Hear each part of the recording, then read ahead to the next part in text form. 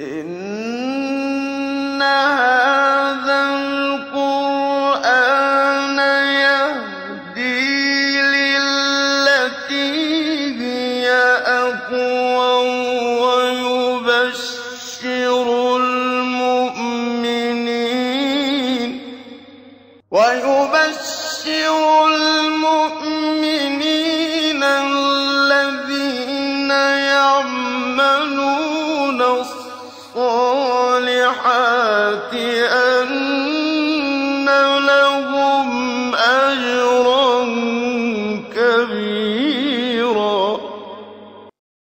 بسم الله الرحمن الرحيم الحمد لله رب العالمين وبه نستعين وصلى الله وسلم على سيد الأنبياء والمرسلين وعلى آله وأصحابه أجمعين ومن تبعهم بإحسان إلى يوم الدين أما بعد سلسلہ تفسیر کی یہ چھپنویں نشست ہے اور سورہ صبا کی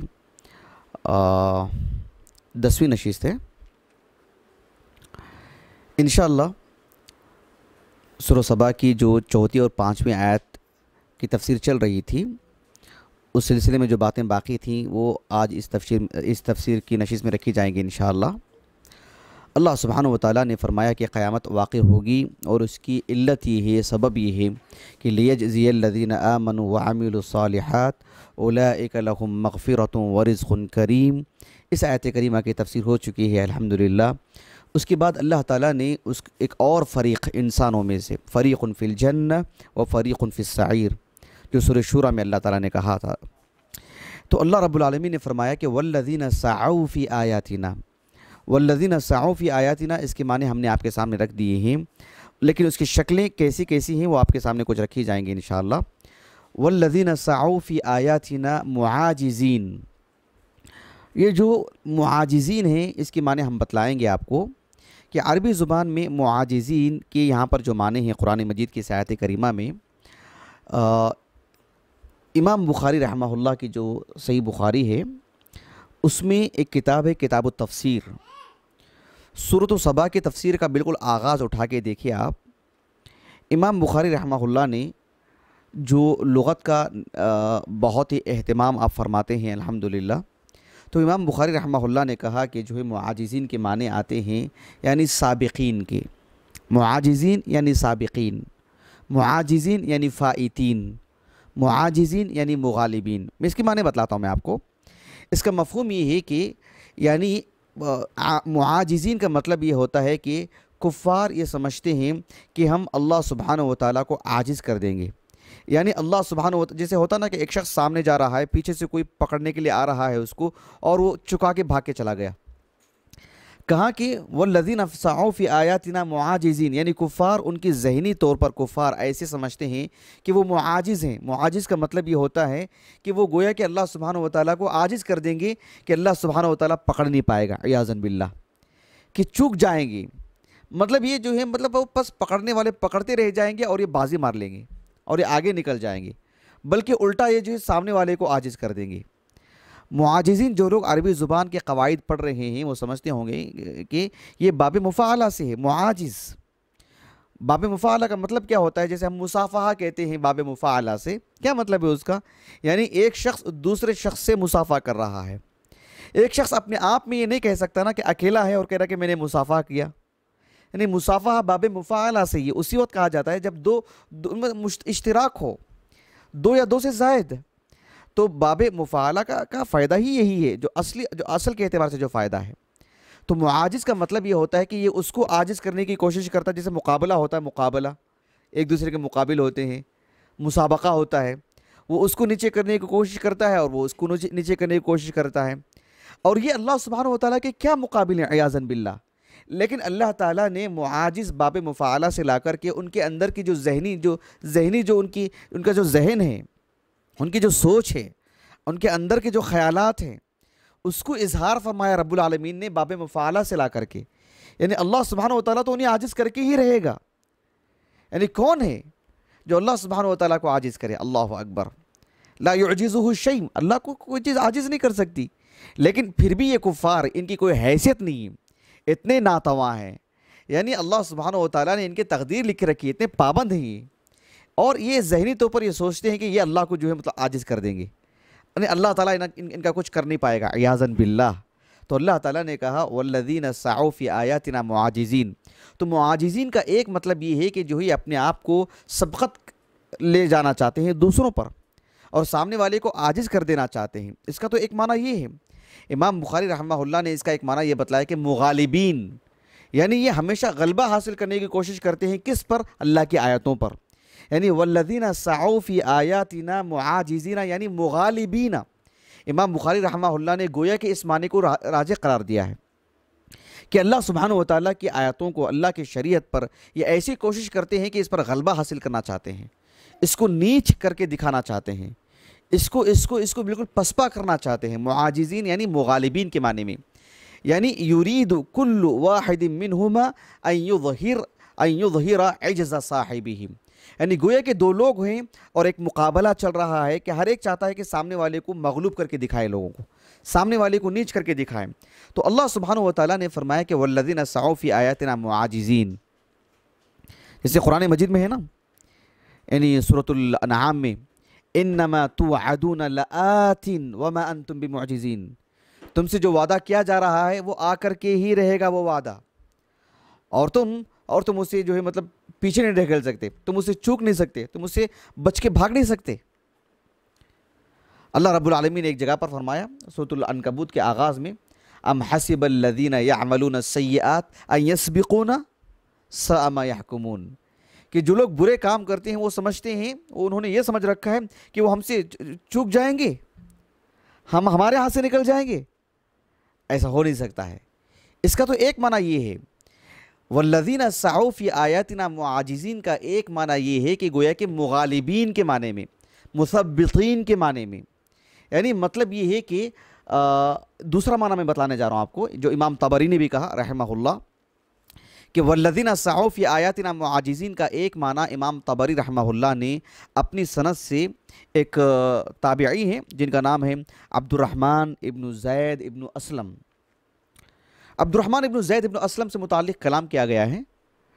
البتہ ان کے تعلق سے جو تفسیری معلومات ہمیں ملتی ہیں کہ عبد الرحمن ابن زید ابن اسلم رحمہم اللہ اجمعین نے کہا کہ والذین سعوا فی آیاتنا معاجزین یعنی مجاہدین یعنی جاہدین کے معنی میں۔ جاہدین لیحبطوها او یبطلوها۔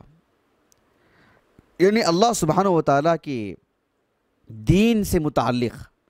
کفار ایسی کوششیں کرتے ہیں کہ معاجزین یعنی جاہدین ایسی کوششیں کرتے ہیں کہ لیحبطوها، تاکہ اسے بالکل حبت کر دیں، نیچے کر دیں، پسپا کر دیں، زیر کر دیں اور ختم کر دیں۔ اور لیبطلوها یا اسے باطل کر کے رکھ دیں۔ کوئی کام دام نہ ہو اس میں۔ آج ہم ہندوستان میں رہتے ہیں، ہم دیکھ دیکھ رہے ہیں۔ یعنی اسلامی تعلیمات کو کلی طور پر یا اسلامی تعلیمات کی ایک جزوی طور پر لے کر کے بحث کرتے ہوں اور جو ہے بالکل جو ہے یعنی یہ کرتے ہوں کہ جو ہے سب کے لیے ایک قانون ہو، سب کے لیے ایک جیسا ہو یعنی اسلامی تعلیمات کو بازو رکھ دیا جائے۔ میں اور تفصیل میں نہیں جا رہا ہوں، یہ آج فی الحال آج کی تاریخ میں یہی باتیں ہو رہی ہیں ہمارے اس ہندوستان کے اندر۔ کسی جزوی مسئلے کو لے کر، طلاق کے مسئلے کو لے کر کے، مسئلہ صرف طلاق کا نہیں ہے طلاق کو لے کر کے ایک اسلامیات کو لے کر۔ پورا اسلامیات، پورا اسلام یعنی سول کٹ کا مطلب یہ ہوتا ہے کہ جو اسلام اسلام نہ ہو، اسلامی تعلیمات نہ ہو، ایک ایک انسان کا بنایا ہوا ایک قانون ہو جس پر سب عمل کریں۔ یہ یہی ہے۔ والذین سعوا فی آیاتنا معاجزین یعنی جاہدین لیحبطوها او لیبطلوها کہ اسلامی تعلیمات کو باطل کر دے اسلامی تعلیمات کو حبد کر دے اس کی کوئی حیثیت نہ رہ جائے۔ اور انسانی جو، انسان کا جو قانون ہے، اس پر عمل کیا جائے۔ سبحان اللہ۔ یہی بات ہے جو اس آیت کریمہ میں اللہ رب العالمین نے بیان فرمایا۔ والذین سعوا فی آیاتنا معاجزین ایسے لوگوں کے لیے اللہ سبحانہ و تعالیٰ نے سخت عذاب رکھا ہے۔ والذین سعوا فی آیاتنا معاجزین میں ایک قرات ملتی ہے معجزین کے معنی میں۔ تعجیز معجزین جو عبداللہ ابن کثیر ابن عمر ہیں، معروف قاری قرہ میں سے ہیں۔ معروف جو قرہ ہیں، ان میں سے ہیں یعنی ستر ہجری کے آس پاس انتقال ہوا ان کا۔ مکے کے تھے اور ابو العلا ابو ابو ابو العلا نہیں، میں ان ان کی ان کی کنیت جو ابو عمر ہے۔ ابو ابو عمر ابن العلا، ایک سو چون ہجری سن وفات ہے ان کا۔ انہوں نے بھی کہا کہ معجزین جو ہے انہوں نے اس کو پڑھا۔ شیخ شنقیت رحمہ اللہ کہتے ہیں کہ معجزین کے معنی میں یہ ہے کہ اللہ سبحانہ و تعالیٰ یعنی لا یقدر علی عقابہم۔ اللہ سبحانہ و تعالیٰ ان کو سزا دینے پہ قادر نہیں ہے۔ یعنی اللہ کو عاجز کر دیں گے۔ نعوذ باللہ من ذالک تو اللہ سبحانہ و تعالیٰ جو والذین سعو ہے، جو لوگ کفر میں زیادتی کرتے ہیں، تیزی دکھاتے ہیں، لوگوں کے لیے آڑ بنتے ہیں، ان کے لیے اللہ رب العالمین نے درد، دردناک عذاب رکھا ہے۔ والذین سعو فی آیاتنا معاجزین اولئک لهم عذاب من رجز علیم۔ صرف عذاب نہیں، بلکہ من رجز رجز یعنی دردناک عذاب اور اسوء العذاب اللہ نے ان کے لیے رکھا ہے۔ ایسے لوگوں کے لیے بچنے کا کوئی راستہ نہیں ہے۔ آپ اندازہ لگائیے کل قیامت کے دن ایسے لوگوں کے لیے زیادہ عذاب ہوگا تو وہ رحم و کرم کے کسی طور پر بھی مستحق نہیں ہے اللہ سبحانہ و تعالیٰ نے کائنات پیدا کی، اتنا عظیم الشان دین عطا فرمایا اور لوگ اس پر عمل کرنا چاہتے ہیں اور یہ لوگ عمل کرنے سے روکتے ہیں۔ ایک شخص اپنی نجات کے لیے عمل کرنا چاہتا ہے، اس کے لیے آڑ بنتے ہیں۔ ایک شخص اپنی نجات کے لیے، جہنم سے بچنے کے لیے اللہ کا دین قبول کرتا ہے، اس کو لیے، اس کو سزا دیتے ہیں۔ اس کے لیے آڑ بنتے ہیں۔ یہ کیسی رحم و کرم کے مستحق ہوں گے؟ یہ کیسے معافی کے مستحق ہوں گے؟ ہرگز بھی نہیں۔ کل اللہ تعالیٰ اہل جنت کو جنت بھیج دے گا اور اس طرح کے لوگوں کو جہنم میں بھیجے گا۔ تو باقاعدہ جنتی لوگ ان سے گفتگو کریں گے۔ اللہ تعالیٰ نے صورت العراف میں بیان فرمایا وَنَادَا أَصْحَابُ الْجَنَّةِ أَصْحَابَ النَّارِ۔ اہل جنت اہل جہنم کو آواز دیں گے، ان سے بات کریں گے۔ ان قد وجدنا ما وعدنا ربنا حقا۔ کل دنیا میں اللہ نے ہمارے ساتھ جو وعدہ کیا تھا کہ تم اسلام قبول کرو گے تمہارے لیے جنت، آج ہم نے اللہ کا وعدہ پورا دیکھ لیا ہے۔ فہل وجد تم ما وعد ربکم حقا؟ اللہ نے تمہارے ساتھ جو وعدہ کیا، تم نے بھی پا لیا کیا؟ دیکھو تمہارے لیے جہنم ہے۔ اللہ سبحانہ و تعالیٰ نے فرمایا اللہ لعنت اللہ علی الظالمین الذین یصدون عن سبیل اللہ جن لوگوں نے اللہ سبحانہ و تعالیٰ کے راستے میں آڑ بنے تھے، لوگوں کو روک رہے تھے، وہ تو ظالم ہے اور ایسے ظالموں پر اللہ کی لعنت ہے۔ ایسے لوگوں کے لیے جہنم میں۔ اللہ رب العالمین نے صورت الانفال میں بیان فرمایا کہ وما لهم وما لهم اللہ يعذبهم اللہ وهم يصدون عن المسجد الحرام۔ اللہ تعالیٰ ایسے لوگوں کو کیوں عذاب نہیں دے گا؟ ضرور عذاب دے گا۔ جن لوگوں نے مسجد حرام کے لیے لوگوں کو روکا، کعبۃ اللہ میں داخل ہونے سے روکا۔ یعنی جب کعبۃ اللہ میں داخل ہونے سے روکا ان لوگوں نے، تو تب کسی کو ترس نہیں آیا، تب کسی پہ رحم نہیں آیا۔ ان لوگوں کا درد کسی نے سمجھا نہیں۔ اور ان لوگوں کا عذاب دیتے تو رحم و کرم ہوگا، ہرگز بھی نہیں۔ وما لهم اللہ يعذبهم اللہ وهم يصدون عن المسجد الحرام وما كانوا اولیاء قرآن مجید میں ایک صورت ہے صورت محمد۔ اس کا ایک نام ہے صورت القتال۔ یعنی ایسے لوگوں سے تو قتال کرنا چاہیے، اگر وہ شروط ہوں، وہ طاقت ہوں، ان کے لیے امامت ہو، وہ سارے شروط کے ساتھ۔ اس اس صورت کا نام ایک صورت القتال بھی ہے۔ اس کی پہلی آیت کریمہ آغاز ہی اللہ تعالیٰ نے کہا، الذین کفروا وصدوا عن سبیل اللہ اضل اعمالهم صورت القتال کا آغاز ہی اس سے کیا رب العالمین نے۔ جو لوگ اللہ کے راستے سے روکتے ہیں، یہ تو بدترین قسم کے لوگ ہیں۔ ایک شخص ہے، ذاتی طور پر کافر ہے، اس کا کفر ہے۔ لیکن ذاتی طور پر کافر ہونے کے ساتھ ساتھ لوگوں کو کافر بناتا ہو، لوگوں کو اللہ سے روکتا ہو۔ جو اس کا خالق وَكَيْفَ تَكْفُرُونَ بِاللَّهِ وَكُنْتُمْ أَمْوَاتًا فَأَحْيَاكُمْ ثُمَّ يُمِيتُكُمْ ثُمَّ يُحْيِيكُمْ اللہ سبحانہ وتعالی لہو مقالید السماوات والارض زمین و آسمان کی مقالید کنجیاں اللہ کے ہاتھ میں ہیں تقدیر وہو یدبر الامر اللہ تدبیر کر رہا ہے اللہ نے ان کو سوچنے کی قوت دی اللہ نے دل دیا ان کو چلنے پھرنے کی قوت دی اللہ نے ان کو مال اللہ نے دیا ان کو اور اللہ کے راستے سے لوگوں کو روکتے ہو ایسے لوگوں کے لیے تو دردناک عذاب ہے اولئک تو اللہ سبحانہ و تعالیٰ نے ان آیات میں بیان فرمایا کہ ایسے لوگوں کے لیے تو سخت سے سخت عذاب اللہ سبحانہ و تعالیٰ نے رکھا ہے۔ کیسے عذاب؟ اللہ تعالیٰ نے کہا اولئک لهم عذاب من رجز علیم۔ صرف عذاب ہی نہیں، اللہ نے رجز کا لفظ استعمال فرمایا۔ قطادہ ابن دعامہ صدوسی رحمہ اللہ فرماتے ہیں، امام طبری رحمہ اللہ نے نقل کیا ان کے حوالے سے کہ رجزن کہتے ہیں اسوأ العذاب۔ سب سے بدترین عذاب دے گا رب العالمین ایسے لوگوں کو۔ ان کا اپنا ذاتی معاملہ نہیں ہے۔ یہ تو کئی لوگوں کے لیے مطلب آڑ بنے ہوئے تھی یہ کمائے ہیں اپنے بی بچوں کے لیے پالنے کے لیے نہیں۔ اللہ کے راستے سے لوگوں کو روکنے کے لیے کروڑوں روپے لگایا انہوں نے۔ ایسے لوگوں کے لیے رز یعنی دردناک عذاب۔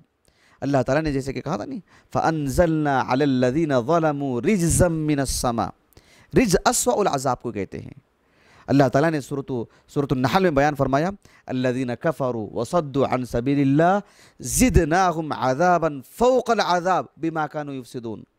یعنی ہم انہیں زیادہ سے زیادہ عذاب دیں گے۔ عذاب پہ عذاب دیں گے ہم ان کو۔ کیوں؟ بما كانوا یفسدون، با با سببیہ۔ اس سبب کی وجہ سے۔ خود ذاتی طور پر کافر نہیں تھے، ہزاروں لوگوں کے کفر کا سبب بنے یہ لوگ۔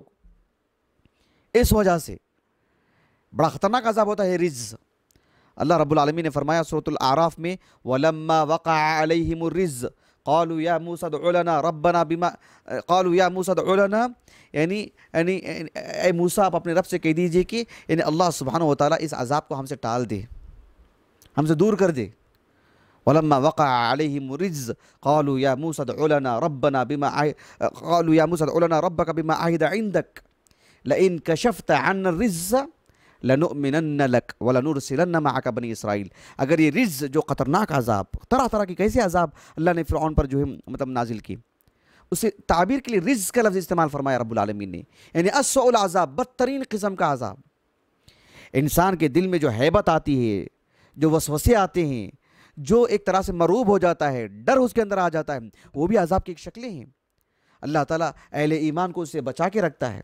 اللہ تعالیٰ نے فرمایا صورت الانفال میں اذ یغشیکم النعاس امنتا من وینزل علیکم من السماء ماء لیطہرکم بہ ویذہب عنکم رز عنکم رز الشیطان یعنی شیطان کی طرف سے جو وسوسے جو خیالات جو گندگیاں جو آتے ہیں جیسے کہ اللہ تعالیٰ نے صورت المدثر میں بیان فرمایا نہیں یا ایوہ المدثر قم فانذر وربک فکبر وثیابک فطہر والرجز فہجر الرجز یہ سب چیزیں جو ہے بڑی خطرناک چیزیں ہوتی ہیں۔ اضطراب، کھلبلی جو ذہنی طور پر، جسمانی طور پر، مالی طور پر ہر اعتبار سے آدمی پریشان رہتا ہے یہ اسوأ العذاب ہوتا ہے۔ اللہ تعالیٰ اس سے ایک مومن کو بچاتا ہے۔ بہرحال یہ میں کہنا چاہ رہا تھا کہ اللہ رب العالمین نے ایسے لوگوں کے لیے بڑا دردناک عذاب رکھا ہے۔ دیکھو، ہمارے لیے یہ آیاتیں حوصلہ دیتی ہیں۔ اللہ رب العالمین نے قیامت رکھا ہے۔ اس معاملے میں جلدی ہم کو بھی نہیں مچانی چاہیے۔ ایک وقت آئے گا جب اللہ تعالیٰ ہم کو بھی پرکھ رہا ہے، اللہ تعالیٰ کافروں کو بھی محلت دے رہا ہے۔ ہمارا بھی امتحان ہے، ان کا بھی امتحان ہے۔ قیامت اسی لیے اللہ تعالیٰ نے رکھی تاکہ دونوں کو برابر برابر کی جزا دی جائے، دونوں کو برابر برابر کا معاملہ کیا جائے۔ اللہ رب العالمین نے صورت النجم میں بیان فرمایا، وَلِلَّهِ مَا فِي السَّمَاوَاتِ وَمَا فِي الْأَرْضِ لِيَجْزِيَ الَّذِينَ أَسَاءُوا بِمَا عَمِلُوا وَيَجْزِيَ الَّذِينَ أَحْسَنُوا بِالْحُسْنَى۔ اللہ رب العالمین نے قیامت اسی لیے رکھی ہے کہ زمین و آسمان سب اللہ کی ملکیت ہیں۔ اللہ نے ایسی ہی اس دنیا کے اندر نہیں پیدا کیا ہے تاکہ برے لوگوں کو ان کی برائی کی سزا مل مل جائے اور اچھے لوگوں کو ان کو ان کے حق میں جنت مل جائے۔ یہ ضروری ہے۔ دیکھو اللہ تعالیٰ نے صورت القلم میں بیان فرمایا، ان للمتقین عند ربهم جنات النعیم جنات النعیم کس کے لیے ہے؟ متقیوں کے لیے ہے۔ افنجعل المسلمین کالمجرمین یعنی اگر قیامت ہے ہی نہیں ہے تو پھر فائدہ کیا ہے اس دنیا کا؟ ایک شخص فجر کی نماز کے لیے اٹھتا ہے تکلیف کے ساتھ۔ ساری چیزیں چھوڑ کے زہر کی نماز پڑھتا ہے۔ ساتھ میں نوافل بھی آپ رکھ لیں۔ عصر کی نماز پڑھتا ہے، مغرب پڑھتا ہے، عشاء پڑھتا ہے۔ اور بیوی بچوں کے ساتھ جو ہے شرعی نقطہ نظر سے حقوق ادا کرتا ہے۔ اللہ تعالیٰ کے حقوق ادا کرتا ہے۔ نیکی کا حکم دیتا ہے، برائی سے روکتا ہے۔ یعنی اپنی نگاہوں کی حفاظت کرتا ہے، اپنی شرمگاہ کی حفاظت کرتا ہے، زبان کی حفاظت کرتا ہے۔ یعنی اس کے سامنے ایک قیامت ہے، اس کے سامنے جنت ہے، اس کے سامنے جہنم ہے۔ اللہ سبحانہ و تعالیٰ کی فرما برداری کرتا ہے، نافرمانی سے بچتا ہے۔ سب کچھ ہونے کے باوجود بھی قیامت نہیں ہے اور اور یہ، اس کی نیکیاں برباد۔ اور ایک شخص ہے، کفر میں تیزی دکھاتا ہے۔ جس نے پیدا کیا، اس کو گالی دیتا ہے، اس کی تکذیب کرتا ہے۔ انبیاء کو قتل کرتا ہے، قیامت کا انکار کرتا ہے۔ اہل ایمان کو تکلیف دیتا ہے، اہل ایمان کو سزائیں دیتا ہے۔ اور مرنے کے بعد پھر اسے کوئی پوچھنے والا نہیں۔ نعوذ باللہ، اللہ رب العالمین ایسے ایسے عمال سے بری۔ اللہ نے قیامت رکھی ہے تاکہ ایسے لوگوں کو بدلا دیے بدلا دیا جائے۔ ایسے لوگوں کی نیکیوں کی قدر کی جائے، ان کو عزت دی جائے، ان کا سر اونچا ہو اور ایسے لوگوں کی گرفت کی جائے۔ اسی لیے اللہ تعالیٰ نے فرمایا افنجعل المسلمین عقل مجرمین ہم مسلمانوں کو مجرمین کی طرح بنا دیں گے؟ یعنی ان کا، ان کے ساتھ کوئی عزت والا معاملہ نہیں ہوگا؟ ہرگز بھی نہیں۔ ایک دن ہوگا، ان للمتقین عند ربهم جنات النعیم ان کے ساتھ عزت کا معاملہ ہوگا اور کافروں کو کفر کے ساتھ، ان کا معاملہ ہوگا۔ افنجعل المسلمین عقل مجرمین ما لکم کیف تحکمون ایسا ہرگز نہیں ہو سکتا ہے۔ اللہ رب العالمین نے سورہ یاسین میں بیان فرمایا إن أصحاب الجنت اليوم فی شغل فاکہون فاکہون یعنی اپنی ان کی اللہ نے جو حور عطا کرے گا ان کی جو بیویاں ہوں گی ان کے ساتھ یعنی ہمہ وقت تلزز میں رہیں گے وہی معنی ہے اس کا۔ إن أصحاب الجنت اليوم فی شغل فاکہون ہم وازواجہم فی ظلال علی الارائک متکئون لهم فيها فواكه لهم فيها فاكهة ولهم ما يدعون. سلام قولا من رب الرحيم وامتازوا اليوم أيها المجرمون۔ یعنی اہل جنت یعنی اللہ تعالیٰ انہیں جو حور عطا کرے گا، ان کی جو بیوی ہوگی، وہ مطلب متلذذ ہوں گے اس سے۔ اللہ سبحانہ و تعالیٰ انہیں جو جنت عطا کرے گا، آرام دہ کرسیاں ہوں گی، اس میں بیٹھے ہوں گے، ٹیک لگائے ہوں گے، ان کے لیے سلامتی کی بات ہوگی۔ اللہ گفتگو کرے گا ان سے، اللہ سلام بھیجے گا ان کو، اللہ سلام کرے گا ان سے۔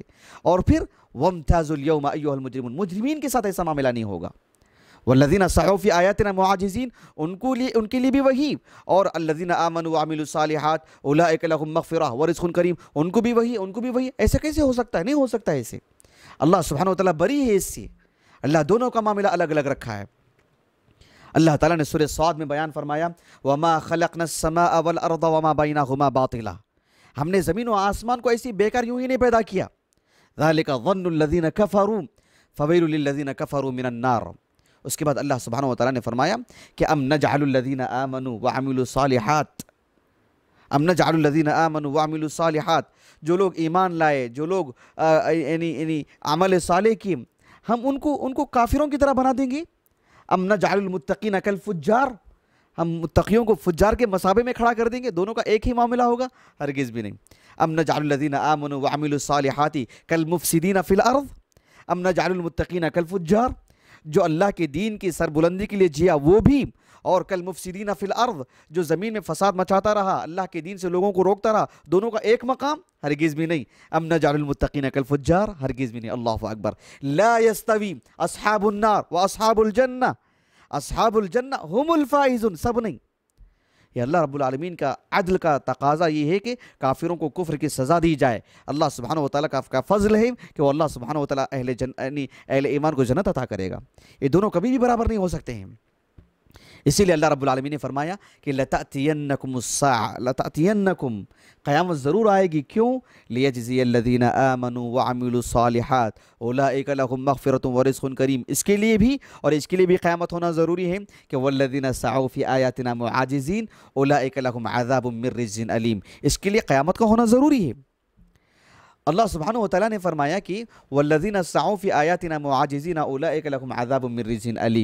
علیم یعنی علم یعنی دردناک عذاب ہوگا مجع آخری میں ایک بات کہہ کے میں اپنی بات کو ختم کر دیتا ہوں۔ اللہ جزائے خیر دیں شیخ محمد ابن صالح ابن العثیمین کو، رحمہ اللہ، واللہ، آپ ان کو پڑھیے گا۔ جن لوگوں کو عربی زبان نہیں آتی، صرف عربی زبان کی بات نہیں کر رہا ہوں۔ شیخ ابن العثیمین کو پڑھنے کے لیے صرف عربی زبان درکار نہیں ہے۔ ٹھوس علم بھی چاہیے ان کی ان کی ان کی باتوں کو سمجھنے کے لیے۔ کیونکہ عربی زبان ایک عرب کا باشندہ جسے عربی زبان آتی ہو، وہ بھی ان کی کتابیں پڑھ لے سکتا ہے۔ لیکن علم اگر اس کے پاس نہیں ہے، شرعی علم، تو پھر آسانی سے استفادہ نہیں کر سکتا وہ۔ تو ٹھوس علم چاہیے، اور جو ہے مطلب عربی زبان ہو، آپ ابن العثیمین کو ضرور پڑھیے گا۔ ان کی کتابیں اردو زبان میں بھی آ چکی ہیں، انگریزی زبان میں بھی آ چکی ہیں۔ اپنی طاقت کے بقدر پڑھیے گا، آپ کو پتہ چلے گا کہ اللہ نے آپ کو اس دور میں کتنا، کتنے عظیم، عالم عالم سے نوازا ہے۔ انتقال ہو چکا ہے شیخ بن عثیمین کا رحمہ اللہ، لیکن ہمارے اس دور کے علماء میں سے ہیں۔ شیخ ابن عثیمین رحمہ اللہ نے اس آیت کریمہ کی تفسیر میں کہا کہ اللہ تعالیٰ نے قرآن مجید کو مسانی کہا مسانی یعنی اللہ نزل احسن الحدیث کتا، کتابا متشابہا قرآن کو اللہ نے مسانی کہا۔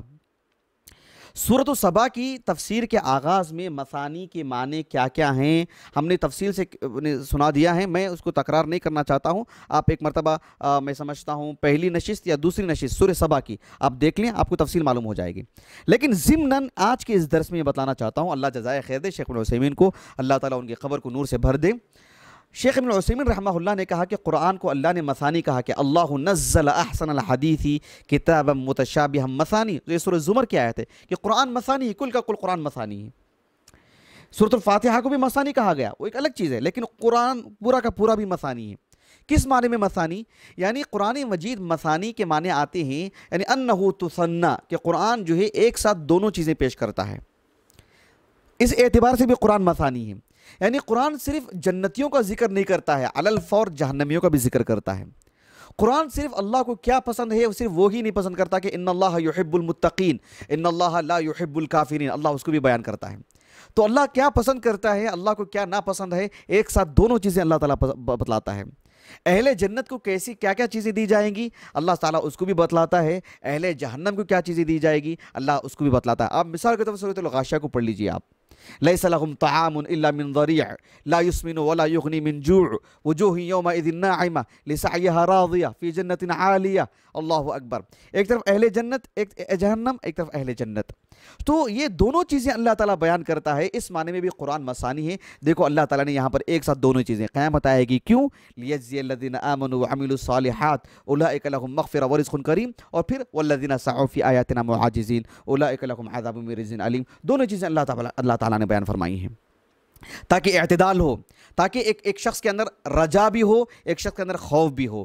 امید بھی ہو جنت کی اور جہنم سے بچنے کا خوف بھی ہو۔ اللہ سے لگاؤ بھی ہو اللہ سے نافرمانے کا ڈر بھی ہو اور محبت کے ساتھ۔ بہرحال یہ بات آپ نے کہی ہے۔ میں اپنی بات کو ختم کرتا ہوں۔ با- بقیہ باتیں آنے والی نشست میں آپ کے سامنے رکھی جائیں گی۔ اللہ تعالیٰ سے دعا ہے کہ اللہ سبحانہ و تعالیٰ ہمیں کتاب و کتاب و سنت کو سمجھ کر کے پڑھنے حت المقدور عمل کرنے کی توفیق عطا فرمائے۔ اللہ تعالیٰ ہماری ان کاوشوں کو قبول فرمائے۔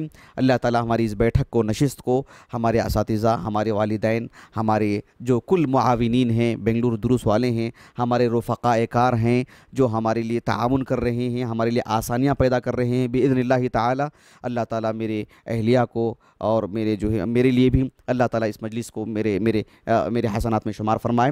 آمین۔ سبحانک اللہم و بحمدک اشہدو اللہ الہ الا انت، استغفرک و اتوب الیک۔